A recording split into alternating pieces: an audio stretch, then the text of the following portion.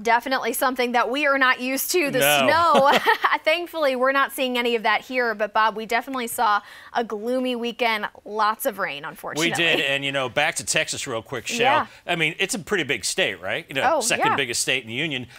The entire state is seeing snow and ice. You Mm-hmm. know, and they're not alone. A good chunk of the country is seeing tremendous cold and tremendous snow and ice. So we'll take a look at that in just a second. But right now, we're looking at the weather headlines. And guess what, folks? We've got more rain on the way. Hang in there. We've got two more systems we're talking about before we have nice weather as we head into next weekend.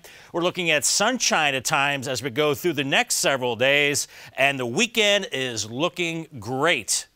How long has it been since we talked about a good looking weekend? But I think next weekend is looking pretty good. Right now, temperatures into the 30s and 40s. They really haven't moved much at all since Sunday. 42 in Greenville, 40 in Asheville, Anderson 42, Greenwood at 40 degrees, and Union at 39. Now, we get a break from the steady rain, but you see a little bit of green showing up. That's some drizzle along with the fog right now as we zoom things out. Here's one system that gave us the rain on Sunday. Now we're looking to the west and look at that snow across the Tennessee Valley and Texas, as we just talked about. Tremendous heavy snow into Texas, even along the Gulf Coast where they don't get snow and ice. They're getting it in Houston and back into New Orleans. So we're watching this area of low pressure. That's heading our way, but not in the form of snow and ice, just rain. But we see more of that snow through the plains into the upper Midwest, into Missouri and Illinois. Now, this is amazing. I have never seen a winter storm warning area like this, stretching from Texas into Louisiana, into the Midwest, into the Northeast. This is just tremendous. This pink color indicating that winter storm warning and a winter weather advisory in the blue.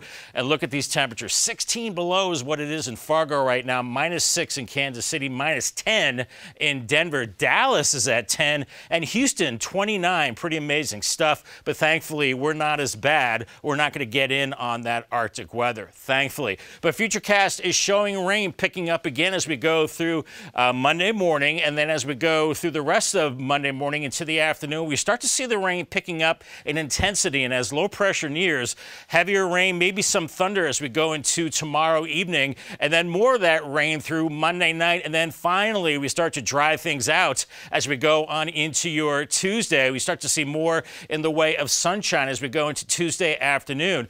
We're dry on Wednesday. Here comes another system on Thursday. This one's more potent with heavier rain and maybe thunderstorms as low pressure heads our way on Thursday. Once again, low pressure right over the top of us. I don't think we're looking at severe weather, but certainly thunderstorms and heavy rain as we go into Thursday evening on into Friday morning. So it will be a soaker, and then we finally start to dry things out as we go through time. So as we go through Tuesday, we're looking about a half inch to one inch of rain, and then beyond that, an additional one to two inches of rain. So by early Friday morning, we could be looking at over two to three inches of rain. Pretty amazing stuff there.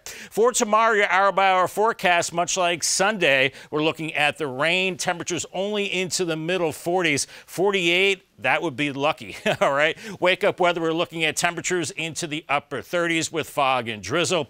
And for your Carolina sky meter for tomorrow, it's a low number, only a two because it will be dreary once again. Forecast for tonight, foggy and drizzly for the upstates.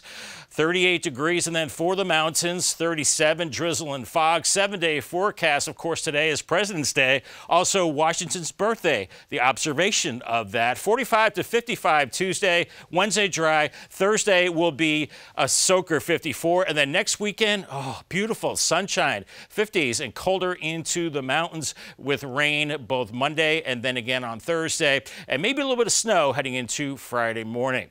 Make sure you log on to foxcarolina.com for the latest on your forecast and the morning news coming up here in just a couple of hours. Make sure you check in with Kylie and Nicole for the very latest on this active weather. Shell?